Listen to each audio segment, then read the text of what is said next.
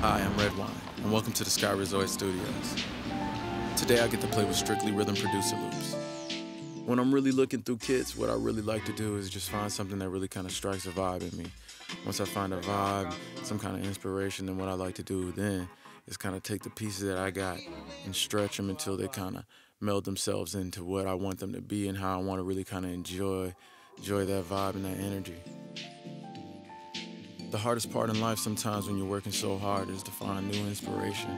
So it's really kind of cool to find other people's perspectives on things and meld it with your own. Red. Red.